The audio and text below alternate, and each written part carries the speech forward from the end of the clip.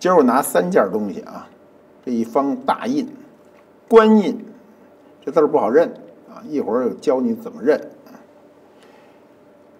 这儿呢，两份钱，一份是你不认得的，或者你不使用的，啊，没见过的银锭，什么时候的呢？明朝的，明明朝嘉靖年间的啊。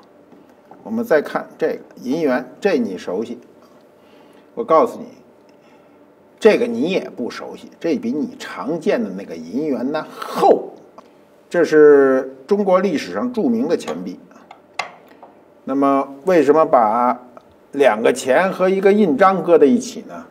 跟张献忠有关。我们最近看到新闻啊，张献忠沉银地呢这个盗挖案或者是盗捞案啊告破。呃。有关张献忠的宝物呢，它本来是个民间传说，正史里并没有记载。可是你一去四川地区啊，只要你跟人家聊天聊大发了，就有人说你提到张献忠，一定有人说：“哎呀，他有一堆宝物啊，他有多少船多少船，上千条船的宝物，全部就沉在这江里了。”过去我们都认为这就是一野史，就是一老百姓津津乐道的八卦。但是没想到，三百七十年后，这传说就变成了个事实。我们先了解一下张献忠这人啊，这人呢在明史中是有载的。张献忠跟李自成呢是同年生人，那就是说他们俩一边大。但是他读过几年书啊？崇祯呢三年，一六三零年。这个张献忠呢，积极响应王家印的这个反明的号召，在米脂啊，陕西米脂起义，自号八大王。王家印呢，这个命运不好，后来死了。死了以后呢，张献忠就跟李自成一块儿归附了高迎祥。高迎祥最初就称为闯王。我们不要以为李自成是个闯王，李自成是成为闯王是后来的事儿。最初高迎祥就是闯王。那他手下有两个闯将，这两个闯将是谁呢？就是张献忠和李自成，一左一右。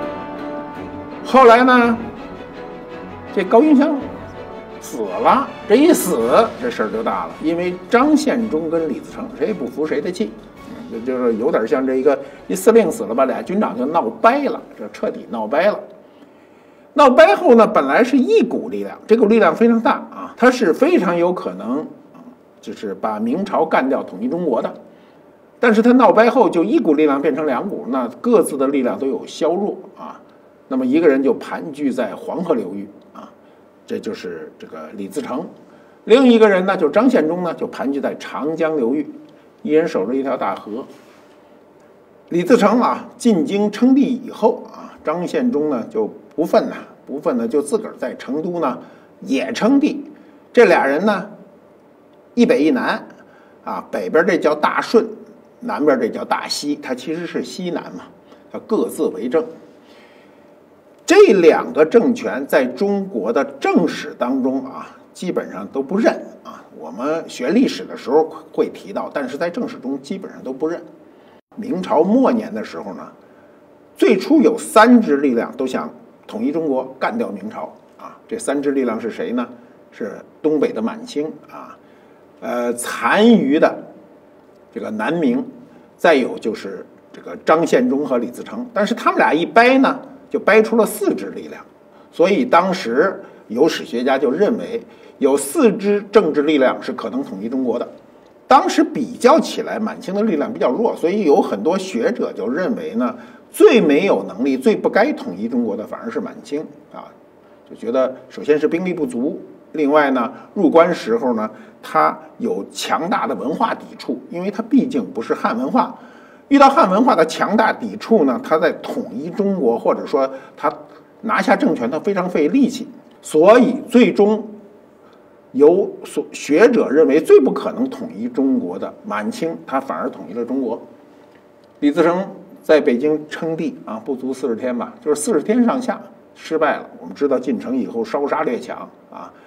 那么，李自成进京是一六四四年甲申年，明王啊是亡于一六四四年，到一九四四年，这时候正好是抗战的后期啊，我们马上就要胜利了。在这个时期，郭沫若写了一篇著名的文章，叫《甲申三百年记》，登在当时的《新华日报》上，连续刊载了四天。那么毛主席就对文章特别重视，就说我们呢未来进要进城的，所以呢一定要记住明王的教训，要记住李自成的教训。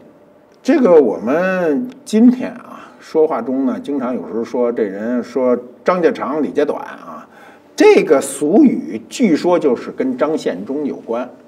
张献忠当年治理成都的时候呢，就是派兵啊这个巡巡逻啊巡视啊。大街小巷来往来往巡查，当时呢，据说有两口子呢，在这个城墙边呢搭了个草棚居住。过去人的居住的环境没有现在这么好啊，现在棚户区都比那时候那草棚居住好，所以一到晚上说话声都听得见。这两口子，这男的喝了酒以后呢，东一句西一句就没完没了的说，这个妻子呢就听着比较厌烦，上来就开骂，就说你深更半夜的，你这还张家长李家短的说个不停，你说什么呢？谁知这夫妻的这段对话呢，被这个巡逻的这个兵丁就听见了，听见了以后呢，有点不知前因后果，直接就把这俩人给薅着，就给抓进官府。抓进官府以后呢，这张献忠就听汇报啊，听你汇报说什么呢？说他们都说什么呢？然后他说：“他们说啊，说张家长李家短。”这张献忠听完了你就就特高兴，哈哈大笑。这是说这全是好话呀，这说的是我呀，是说我家长李家短吗？他不是张家长李家短吗？李家就是李自成他们家吗？说这是我家圣李自成的之谶啊，谶语。我们过去老说一语成谶啊，这是跟算命差不多。说这人是个良民，发赏释放。直接就把这人给放了，于是啊，这个俗语“张家长李家短”这句白话呢，就流传到至今。那么这种传说啊，在民间非常多，比如张献忠的宝物啊，就是我们最近这个新闻设计的这些宝物。成都民间啊，一直流传的一句民谣，这民谣叫什么呢？叫“石牛对石鼓，银子万万五”。就说，这石头的牛跟石鼓对上了以后呢，说银子万万五是一个非常大的数字，有很多银子。相传呢，清兵入入关的时候，四川境内呢就是连年混战啊。四川这个地方很有意思，就是它是一个盆地啊，是西南地区最富饶的地方。呃，历史上战争很难波及到这儿，但是一旦波及到这儿，都非常惨烈。比如当年蒙古人打过去的时候就非常惨烈。那么清兵入关以后呢，打到四川啊，四川就连年混战，张献忠呢就不得不退出成都。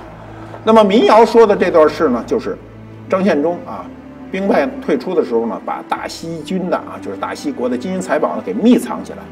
为什么要密藏起来呢？这个留得青山在，不怕没柴烧啊。一定把这些财产，就是这些这个银两，呃，收起来，因为带着非常不方便。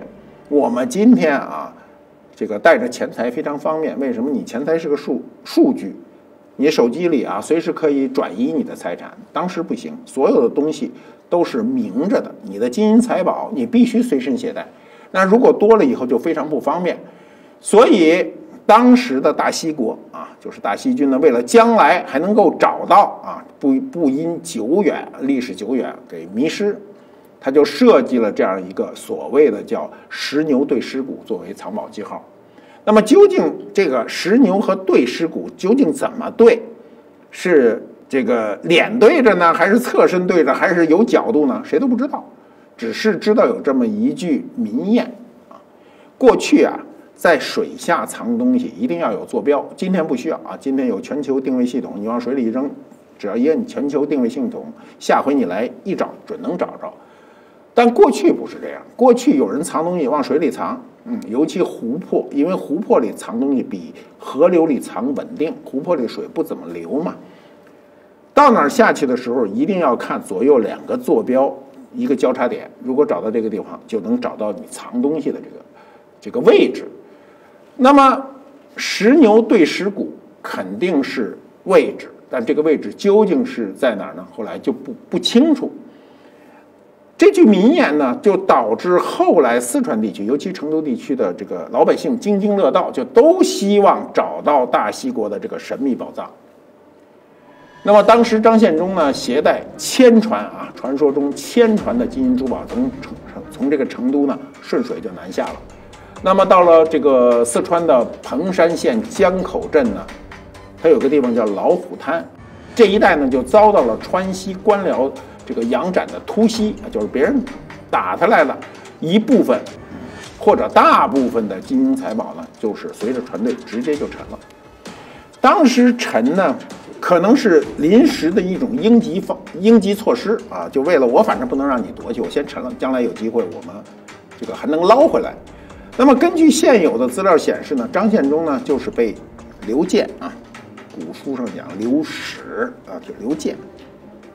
命中啊，命中以后就丧生，但是呢，究竟是不是这么丧生的也不清楚。有人认为他可能也是得病而死的，但是不管怎么着，他是死了。张献忠死了以后呢，他的部队就防止他的这个尸体的被清军发现啊。过去人对尸体特别重视，所以就将他呢葬于了凤凰山，找个隐秘处把他葬了。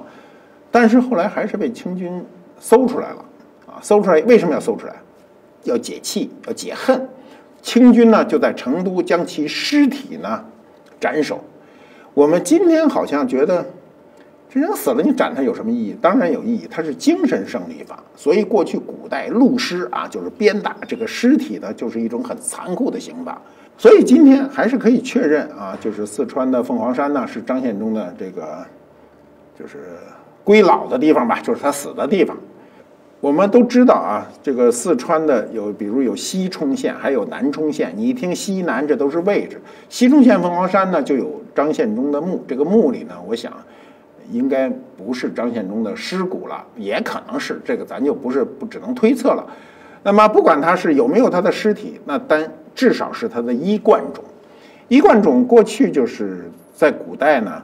呃，如果一个人死了没有尸体，比如这个尸体根本就没有回来，家里人都认为他肯定是死了，那就给他做一个衣冠冢，啊，或者说尸体经过各种啊各种可能，比如就像刚才说的，你的尸体已经被鞭尸了，被这个这个后人啊这个给肢解了，所以可能就是只好做一个衣冠冢来纪念这个过故去的人。那么张献忠呢去世以后呢？有关沉他的这个沉银地啊，就是他在哪儿把这个银子沉下去呢？这故事就就一下就风靡，就流传。由于这个传说的存在呢，所很多人啊，很多百姓都很希望去盗掘。它跟盗墓有点不同，盗墓呢，它是个未知，就这墓葬里到底有什么不知道。有的墓葬因为历史上有很多大墓葬反复被盗掘，你费费劲巴拉的把它挖出来一看，里头什么都没有。但是这个直接是银子。清政府当时还组织官兵啊，直接就去打捞，到那个位置去打捞。据说一共打捞出金银呢，有大概有三万余两啊。后来就因为水太急，也就算了。民国政府的时候也曾经组织人去打捞过，但是打捞出来的金银很少。由于他们打捞过，这个传说就变得越来越实，百姓都特别相信这件事儿啊，就总有人。隔长不短的都要去捞捞啊，那么一直到什么时候呢？到了二十一世纪，到了二零零五年啊，这个彭山县啊，这个开建引水工程，施工队在这岷江的老虎滩上河床上呢，就用挖掘机开始就挖铺啊，铺设管线沟槽，结果呢，一下子就挖出来怎么一一共就十个银锭，这银锭上呢，上面写着崇祯十六年八月。纹银五十两，那么这个年号呢，正好就跟这个张献忠沉银的时候年号是吻合的。那么大家就初步鉴定说，这个东西就是明代的官银。那么这就为破解张献忠在此这个千船沉沉银呢，找到了一个啊一个证据啊。这个证据呢，多少就有点考古的含义了。那么这次挖掘出来的银锭呢，无论是从银锭本身，还是从它的包装呢，它跟历史上非常吻合，所以呢，三百七十年前关于沉银之说呢，到了今天就变成了一个事实。但这之后十多年啊，到今年正好十二年了啊，那个离张献忠呢这个沉银地最近的这些村庄不断的有文物出水。那么张献忠的这个千传宝藏啊，这个诱惑太大啊，这个村民们啊，农民们不管那套啊，包括盗墓的远来的啊，就组织起来这种盗宝集团啊，据说。最多的时候有百十多人同时在江面上摸宝，那那看着你说他是摸宝还是摸鱼，你并不清楚。反正他是他心里是在摸宝，表面上像摸鱼，你也不能抓他。那么这个据说啊，就就说当地的媒体还有报道，就是说到了冬天水都特冷了，还有一六十多岁老头还在那儿摸呢啊。因为有些人很执拗，这历史上就有这种人非常执拗。他就坚定地认为这底下就有东西，坚定地认为自己能捞出来。据说后来这村里的人呢，还有哎，又这个买了豪车，又租了商铺啊，说这盗宝者一夜就变得富，就成了街头巷议的这种这个热门的这种谈资。这种事儿就怕渲染，一渲染这事儿就变得非常的大，所以大量的人呢就会涌入到这儿，这事儿就断断续续啊。就有十年，从二零零五年到二零一五年这十年呢，就形成了大量的人跑这个陈银地啊，就是张献忠陈银地呢捞宝。那么后来眉山市的这民警呢就组组织啊，就是这事儿不能肆无忌惮呐，组织抓捕队，然后就对六个啊盗掘团伙呢，就同时抓捕，抓获了多少人呢？抓获了三十一个人，扣押了啊西王赏功钱币二十七个。西王赏功这钱币非常有名啊，喜欢收藏钱币的人都知道，那个儿大，首先个儿大，上面就写着西王赏功。你听这钱跟那个过去这个政府发的钱不一样，过去政府发的钱啊，就写上，比如说开元通宝啊，唐代的钱，你比如康熙通宝，清代的钱，那都是当时的标准货币。西王赏功呢，这有点像政府发你一张支票，个儿大啊，这钱值钱。在收藏的这个钱币的这个群体中，西王赏功算一算是一枚非常有特色的钱，存世量不是很大啊，跟其他的跟宋钱比、跟清朝钱比、明朝钱比，那就差很多。那么这一下就扣押了二十七个，其中还有银锭，银银锭有多少呢？有三十九个。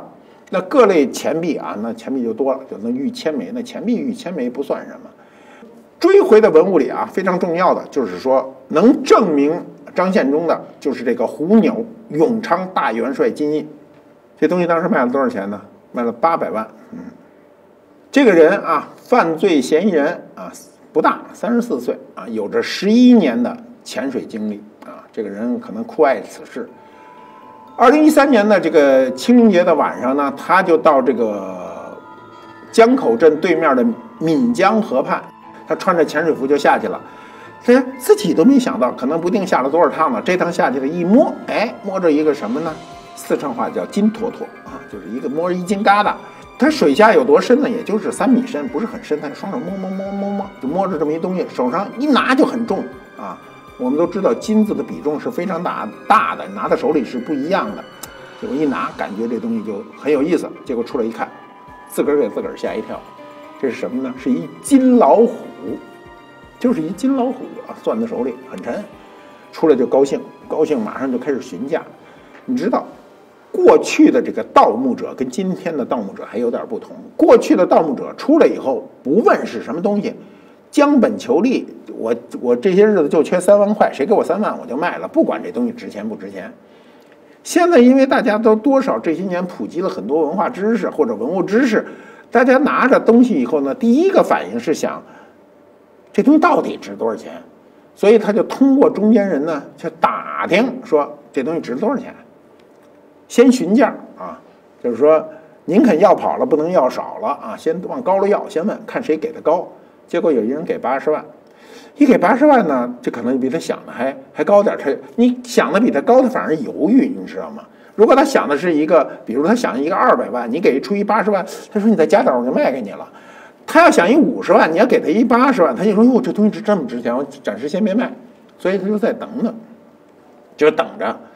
结果没等几天啊，在同一位置他又下去了，他又穿着潜水服又下去了。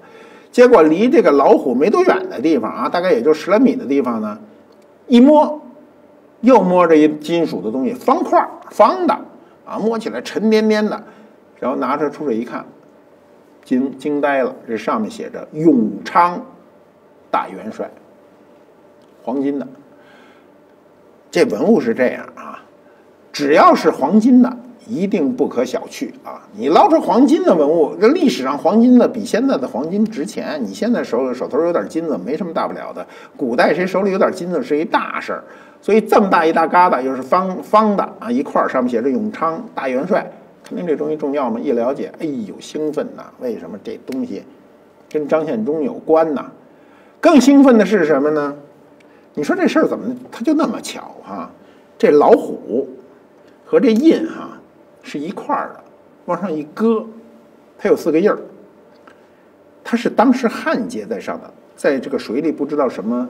外力的作用啊，它分成了两块儿，往上一搁，那可丁可卯的这四个这个四个足印儿，呃，四个虎足就严丝合缝，那肯定是一式的东西。那这个虎钮的印章就坐实了，这一下就不得了了。虎钮金印永昌大元帅，八十万的金老虎，配上这金印一翻身啊，十倍，八百万。这中间人呢，就把这个。胡牛永昌大元帅的金印和金册等等一起打包，以一千三百六十万的天价卖给了西北某省的一个商人啊，卖给这商人。这桩买卖好像就到此为止了。这个捞的人呢，也不负自个儿这番苦心啊，捞了这么多年，终于把这最重要的文物捞出来了。那么这个姓宋的啊，卖掉了这个文物的这个消息呢，就不胫而走。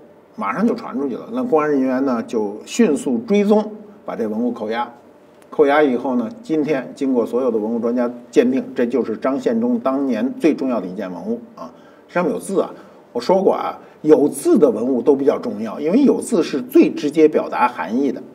你比如彭山区啊，文管所所长吴天文呢，他就这么看，他说这个金印肯定是张献忠沉船文物中的核心文物，是吧？对考证沉船的这个。这个重要性啊，最为关键。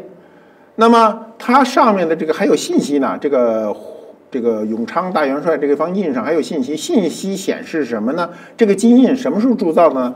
是一六四三年的农历十一月，当时张献忠并没有称帝，所以他刻的是永昌字样，还自个儿说自个儿是大元帅啊。再过几年，他就如果他再铸这个金印，他一定说他是大西皇帝。这枚金印啊，这个字不是特别好认，它是用九叠篆。你知道九叠篆在中国官印中呢是标准的字体，九叠篆呢装饰性极为好，就是很漂亮。它的身份呢就极高，所以呢一般情况下只有官印啊，而且是够等级的官印才用九叠篆。张献忠当时并没有称帝啊，那根据他当时的那个想法和他用的这种材质金印啊、篆书等等来看呢，张献忠本人呢。当时就已经有了称帝的想法了。现在有专家认为啊，从江口河道里打捞出水的沉银呢，最多可以证明呢，这个地方是张献忠沉银的地点之一，而非绝非全部。嗯，你说这事儿，看热闹的都不嫌事儿大啊。他要说就这一地儿，那不大家就死了心了吗？他。说还有好多地儿，你看着在闽江的流域里啊，到处都有可能。嗯，那么。我们这里就是有点问题啊，就说为什么文物一定要叫国家考古队去打捞呢？因为国家考古队呢，它是一种科学考古。如果这方虎钮的这个永昌大元帅金印是国家这个考古发现，那它的重要性比现在。通过公安人员追踪回来的要重要的多得多。过去我们都认为传说就是传说，传说这辈子也是传说。但今天突然发现，传说就是事实。正史啊，他会回避很多问题，正史不光彩的事儿都会回避。所以过去梁启超说过，只说二十四史无非是皇帝的家史嘛，就是他自个儿的丑事儿他不往上写。那么不利于政府的这个稳定的呢，他也不写在正史中。所以，像张献忠的这个沉吟的这种传说啊，就一直三百七十年以来一直成为传说，但是到今天，终于变成了一个史实。